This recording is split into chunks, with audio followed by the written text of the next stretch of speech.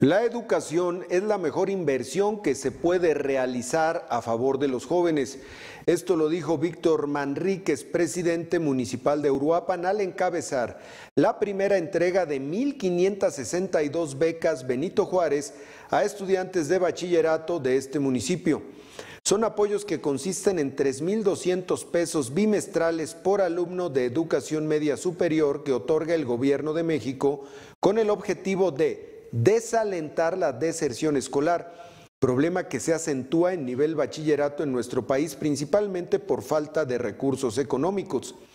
En esta primera etapa, las becas se canalizaron a alumnos de la Escuela Preparatoria Licenciado Eduardo Ruiz, de la Preparatoria Lázaro Cárdenas, así como de los planteles Calzoncin y Uruapan del Colegio de Bachilleres de Michoacán.